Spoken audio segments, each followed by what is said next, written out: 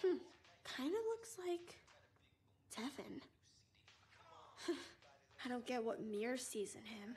He's not that cute. Okay, his shoulders are kind of nice, I guess. His eyes are fine.